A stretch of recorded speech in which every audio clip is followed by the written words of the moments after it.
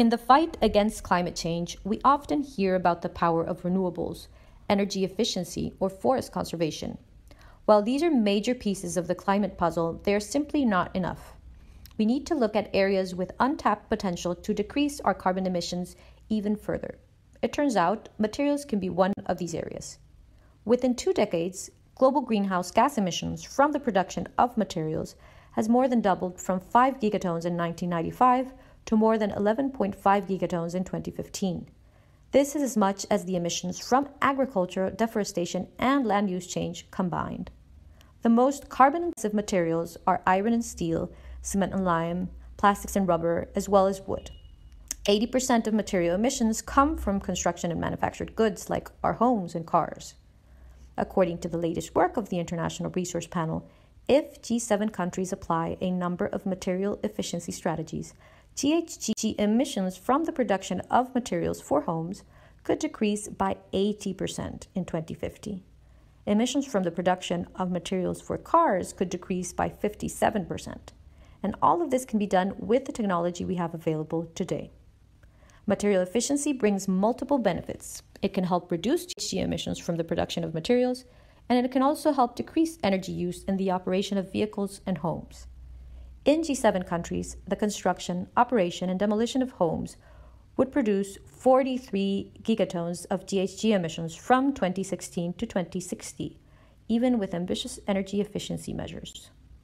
If we apply material efficiency strategies on top of these measures, we could cut down 8 gigatons of life cycle emissions in that period. For cars, these emissions could be brought down by 11 gigatons.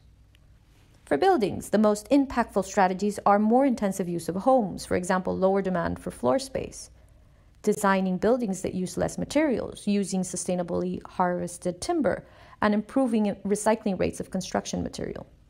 For cars, the largest reductions of emissions could be achieved by changing patterns of vehicle use through ride sharing and car sharing, as well as shifting towards more trip appropriate smaller vehicles. In order to fully capture the benefits of material efficiency, policy action is needed. Current material related policies mainly focus on landfill diversion and mass rather than life cycle GHG reductions.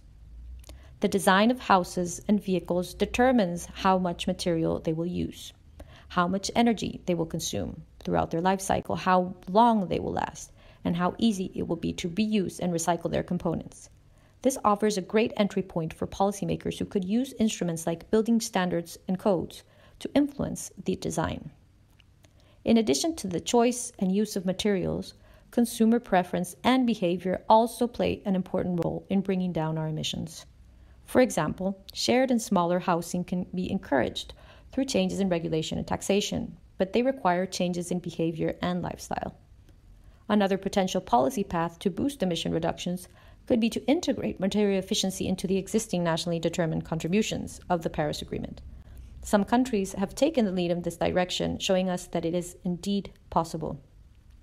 Learn more about the potential of materials for climate action through the IRP report, Resource Efficiency and Climate Change Material Efficiency Strategies for a Low Carbon Future. Available at www.resourcepanel.org/reports.